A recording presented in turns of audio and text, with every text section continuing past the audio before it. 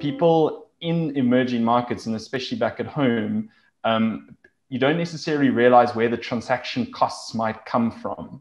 And one thing we've realized a transaction costs in a, in a rural school in South Africa will be the transport cost that the, the grandmother or the mother will take to drop cash off at the school or to post a check to the school. They'll take a taxi to the school. It'll cost them five pounds for the taxi ride. They'll give the cash to the school and then they'll take a five pound trip back to their back to their house.